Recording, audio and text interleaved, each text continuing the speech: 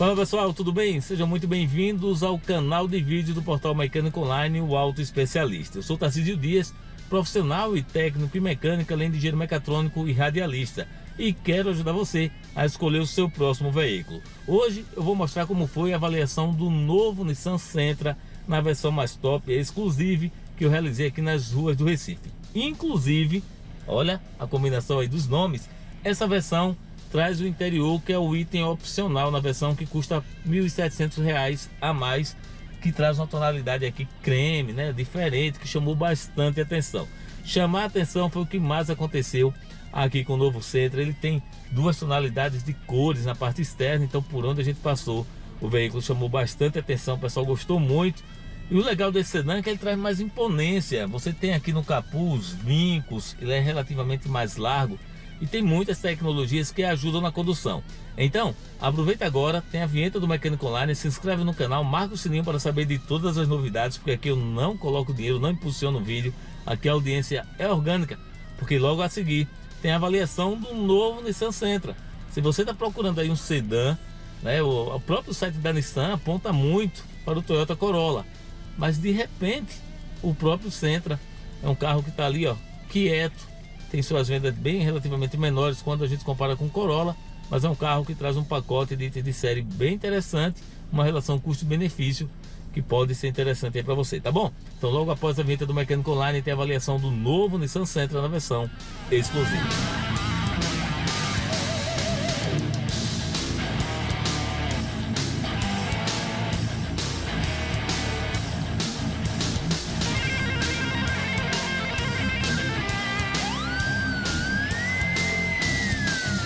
Agora sim, pessoal, iniciamos a avaliação do novo Nissan Sentra aqui no canal Auto Especialista, o canal de vídeo do portal Mecânico Online. E claro, eu vou fazer alguns, alguns dados básicos aqui para vocês. Vou colocar já o cinto de segurança e vou aproveitar também para mostrar aqui a chave. Isso aqui é uma chave presencial, você só precisa estar com ela no bolso. Vai chegar aqui na alavanca, vai apertar num botão e você faz a abertura e o acesso ao veículo. Também vai ligar o veículo através de um botão. Você também tem a possibilidade, por exemplo, de ligar o veículo de forma remota, ou seja, se você estiver do lado de fora, num dia muito quente, por exemplo, você pode apertar aqui e ligar o motor do lado de fora. E o pessoal muitas vezes pergunta qual a funcionalidade disso, né? Para que, que eu vou ligar o motor, ligar o veículo estando do lado de fora? Aqui no Recife, por exemplo, faz muito calor. Então, na hora que você chega por, algum, situa por alguma situação, você deixou o veículo, por exemplo, numa área externa, você pode ligar o veículo aqui remotamente. Ele já liga e já entra com o ar-condicionado funcionando no máximo ali para melhorar a eficiência térmica aqui no interior do veículo. Então, isso é bem-vindo, bastante positivo. Olha pessoal, também vou aproveitar e mostrar alguns detalhes aqui do interior de forma estática do Nissan Sentra na versão mais top que a gente avaliou aqui nas ruas do Recife. Eu começo aqui com a multimídia. Tá? E essa multimídia, ela não tem, por exemplo, o espelhamento do Android Auto do Apple CarPlay sem fio. Então sempre você vai precisar utilizar aqui ó, um cabo. Mesmo que o seu celular tenha um recurso de carregamento né, do celular sem fio, ele também não oferece o carregamento sem fio. São dois itens aí, duas características que cada vez mais o motorista está cobrando. Mas ele não traz essas funcionalidades. Ainda assim, a gente encontra uma cabine muito bem, né? o aspecto do acabamento ficou muito bom. Combinação de materiais, os encaixes, áreas suaves, né? macias, suaves ao toque, tudo isso muito bem, bastante positivo. Vou aqui encontrar a melhor posição para dirigir, ó, profundidade e altura. Você tem uma fácil regulagem aqui encontrar e apenas os ajustes para o banco do motorista são elétricos, o que já é relativamente positivo. Eu observo que algumas características a Nissan ainda não abandonou, que são características de economia. Por exemplo, o acionamento do vidro com toque, disponível apenas para o motorista. Né? Isso é economia, tem necessidade disso, mas não é o único que tem um símbolozinho automático. Os outros vidros aqui têm um acionamento elétrico, mas não tem a função, por exemplo, de um toque comodidade, começa a chover, você precisa estar dirigindo aqui, não tem necessidade de fazer mais isso, é uma economia que não precisa. Por outro lado, a gente observa uma boa combinação de materiais, os itens, tecnologia, o volante aqui na direção tem a base achatada, trazendo o que? Mais esportividade, isso é muito bem-vindo no sedã, o pessoal procura isso. Aqui no interior, no quadro de instrumentos, você tem uma combinação de informações analógicas e ao mesmo tempo digitais. Consumo 9,2 km por litro utilizando gasolina aqui na cidade que a gente fez durante nossa avaliação. Essa foi a média do consumo na prática durante a avaliação. Pedal shift aqui atrás do volante, transmissão automática CVT de 8 velocidades que combina um bom comportamento por trazer uma eficiência energética e melhor a CVT, ela tem esse propósito de trazer mais economia. Então você tem um motor a gasolina trabalhando com a transmissão automática CVT, que trabalhou bem, sem ter esses giros altos. Gostei bem do, do comportamento do veículo.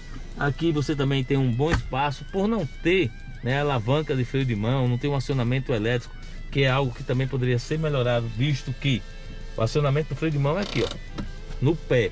Isso aí é algo que também não ficou tão interessante, eles poderiam oferecer. Mas quando você procura ainda mais eficiência energética, por exemplo, você pode utilizar o modo de condução eco. O carro vai oferecer mais economia no consumo de combustível. Um ar-condicionado dual, então você pode colocar uma temperatura para o motorista, outra para o passageiro, mas falta a saída do ar do ar-condicionado aqui para quem vai no banco de trás, na parte traseira. Um bom acabamento, gostei bastante do acabamento interno. Teto solar, muito bem-vindo aqui no Recife, é legal, tem dia e você quer sair com o teto solar aberto, isso é muito bem bem-vindo, funciona bem. E os controles, de um modo geral, muitos recursos e tecnologias que eu posso adiantar e mostrar aqui para vocês. Vamos dar uma volta, né? E mostrar mais alguns detalhes de modo dinâmico em mais um Dirigindo com Tarcísio Dias aqui no Mecânico Online. Vamos lá! Então, pessoal, quando você coloca a marcha ré, você já tem a visão aqui, ó, linhas dinâmicas. Isso facilita muito a posição e tem também a câmera de 360 graus. Um outro detalhe para vocês observarem aqui nessa parte central, logo abaixo da multimídia, tem um botão de câmera. Então com esse botão aqui, você tem uma navegação, você pode visualizar o que está acontecendo ao redor do veículo. É algo que também é muito bem-vindo, um recurso que a gente utiliza muito aí no dia a dia. Vou soltar aqui o freio de mão, né? Freio de mão no pé, como falei para vocês, ó, tirei o pé, soltei, o veículo já está aqui funcionando, fica fácil eu vou só mostrar mais alguns detalhes para finalizar essa avaliação para vocês aqui no Mecânico Online.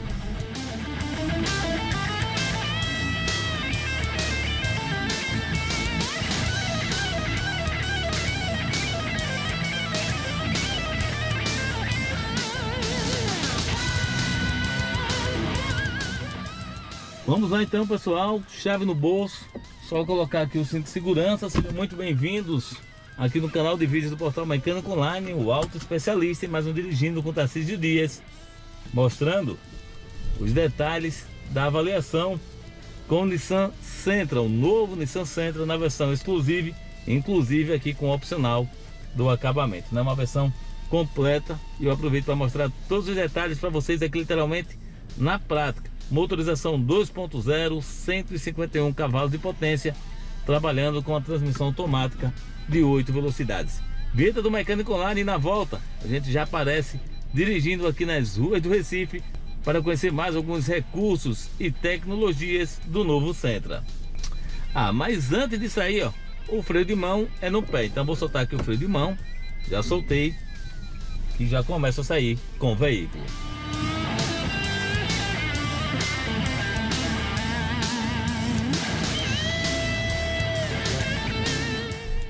Pronto pessoal, já mostrando alguns detalhes aqui da nossa avaliação com Nissan Sentra nas ruas do Recife. Eu vou começar aqui ó, pela câmera.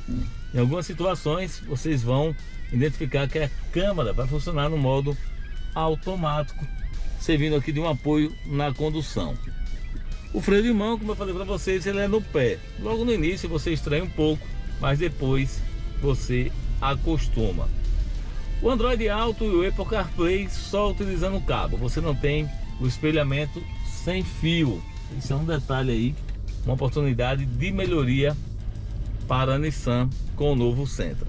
Um outro detalhe é que você não tem um carregamento né, do celular sem fio, mas aí eu até dou um desconto, porque você já vai ter que utilizar o cabo de qualquer forma para fazer aqui o espelhamento, ó, mostrando para vocês, se vocês conseguem ver, conseguem sim. Então aqui ó, você vai precisar ter um cabo para ligar o celular. E com esse cabo você já tem as duas coisas ao mesmo tempo. Você está tendo o espelhamento aqui do Android Auto e você tem o carregamento do celular. Funcionalidades aqui mostrando para vocês, quadro analógico aqui mostrando informações de rotação do motor, de velocidade, velocidade em km por hora, em milhas. E aqui na parte central você tem um quadro digital com informações, por exemplo, consumo de combustível 9.1 km por litro utilizando gasolina, transmissão automática CVT, de, que simula oito velocidades. Né? Quando eu falo CVT, é uma transmissão automática continuamente variável. Não, não é uma transmissão que você vai ter esses pontos fixos, mas você pode, por exemplo, colocar no modo sequencial e fazer as trocas aqui no pedal shift atrás do volante. A Nissan oferece esse item, essa comodidade aqui para vocês, o que é bem legal, o que é bem interessante. Deixa eu aproveitar aqui alguns recursos e tecnologias durante nossa condução para que vocês possam ter um econômetro aqui na tela mostrando. Você pode utilizar também o modo eco, tem um modo de condução que você pode utilizar aqui e tem os assistentes, por exemplo, assistente de permanência em faixa, que é bem legal. E um outro item que eu vou habilitar é o piloto automático inteligente do ACC, para que vocês possam visualizar funcionando. Então aqui no volante multifuncional a gente aperta nele. Não é bem interessante utilizar no dia a dia na hora que você está numa situação como essa, final do dia, muito trânsito andando na cidade. O ACC eu até recomendo mais o uso quando você pega a estrada, ele vai trazer mais segurança numa condução, por exemplo, numa viagem, o que é bem positivo. Mas ainda assim eu vou mostrar um pouquinho aqui na prática para que vocês possam ter uma ideia de como funciona essa tecnologia. É, entre os recursos, são muitos os recursos, a câmera 360 graus que a gente já mostrou aí a, na matéria de avaliação, esse é um dirigindo com Tarcísio Dias, onde eu mostro mais a prática, você tem o, esse fator aqui de, por exemplo, agora eu vou habilitar aqui, ó, deixa eu deixar habilitado, você está aqui a velocidade, pronto, 42 km por hora. E você pode também setar a distância em relação ao carro da frente. Eu vou deixar na máxima, setei os 42 km por hora e vamos observar o comportamento aqui no meio do trânsito urbano. Já entrou uma Kombi aqui, vamos ver, eu estou com o pé próximo do freio, mas não precisei parar. Ele vai alertando o que está acontecendo aqui no painel central, o que é bem legal. Gostei muito do acabamento do novo centro, gostei muito do design externo. Acabou aquela história, né? Carro de tiozão, isso não existe mais para o centro. É carro de boizinho, um mascarado, literalmente. Ele tem essas, esse biton. Então o que eu estou aqui ele é branco, nessa parte preta aqui deixou o carro muito legal. Uma linha de cintura mais alta. Gostei bem, gostei realmente bastante, chamou muita atenção por onde a gente passou o novo Nissan Sentra. Aqui vocês têm o ar-condicionado, ele é dual, tem uma temperatura para o motorista e outra para o passageiro. Você pode configurar, mas sentir falta da saída do ar-condicionado, por exemplo, na parte traseira. Console central aqui muito bem acabado também, um espaço relativamente maior por ter o freio de mão lá no pé. Aqui não tem alavanca, não tem nenhum sistema relacionado com o freio de mão. Portas USB e no mais muito funcional o, o comando, né, os comandos do veículo.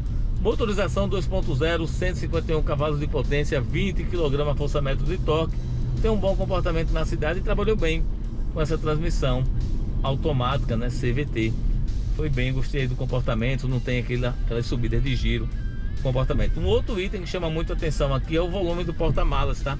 São 466 litros de volume, uma excelente capacidade, é, superior de muitos sedãs, né? O pessoal aí vai todo mundo pro sedã, mas o, o Sentra é aquele tá quieto ali no segmento, mas é um carro muito interessante aí no mercado e vale a pena. Quando eu, eu falo isso aqui no Mecânico Online é sempre despertando você para que você observe o mercado e possa encontrar um veículo que atenda às suas necessidades.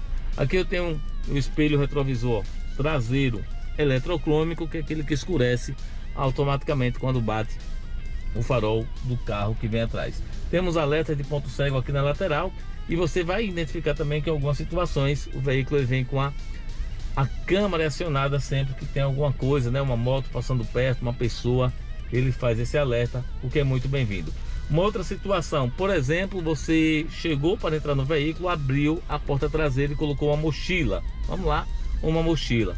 Quando você desliga o veículo, ele dá um alerta, lembrando para que você verificar se não está esquecendo nada na parte de trás do veículo, que é muito positivo também.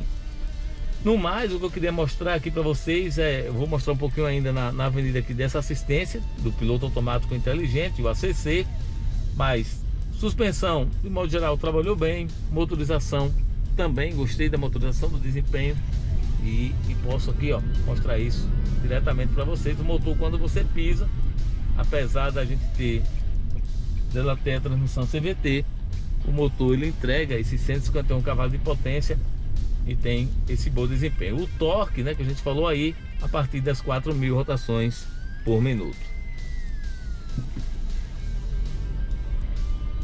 Lá na matéria de avaliação e também no mecanicoonline.com.br eu mostro todos os detalhes, tá? Então vocês vão conhecer mais dos recursos e tecnologias que esse veículo oferece.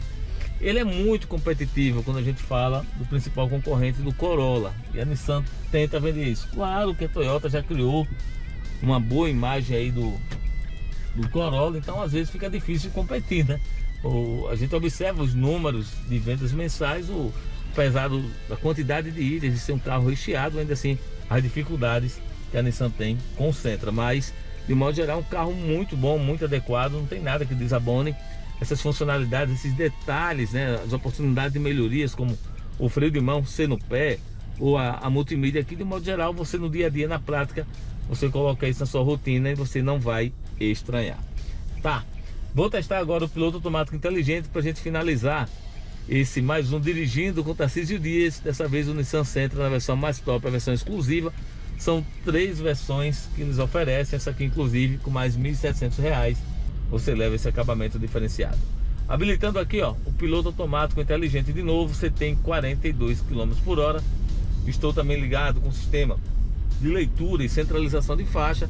E vamos ver como é que funciona, como é que funciona esse comportamento aqui na prática, em algumas situações que eu quero mostrar para vocês.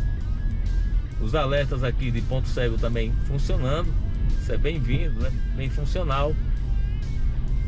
E vamos ver mais alguns detalhes aqui na nossa avaliação. Por exemplo, o veículo vem mantendo bem, né? vem segurando aqui, não estou acelerando, está com o piloto automático inteligente no uso urbano.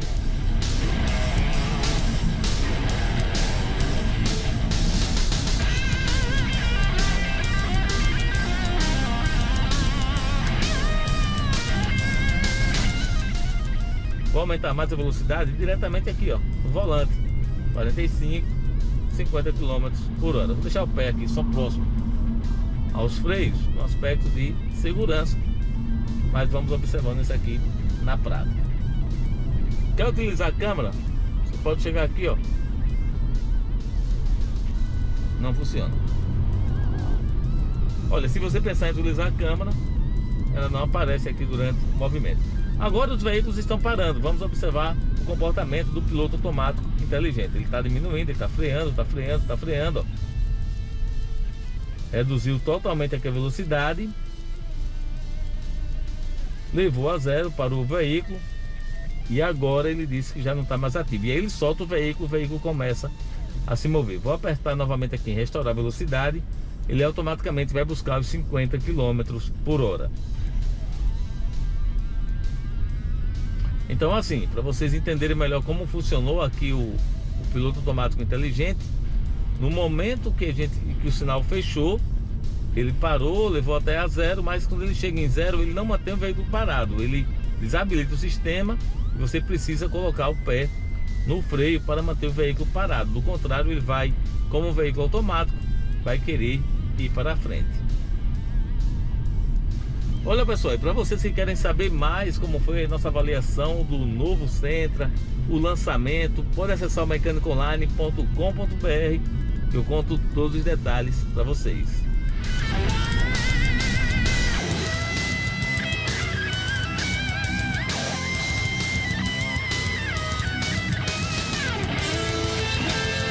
Então é isso pessoal, vamos chegando ao final de mais uma avaliação aqui para vocês no canal Auto Especialista, o canal de vídeo do portal Mecânico Online. Eu agradeço a você que acompanha nossos vídeos, que compartilha em suas redes sociais. Até o próximo lançamento, até uma próxima avaliação. Um abraço, tchau, tchau.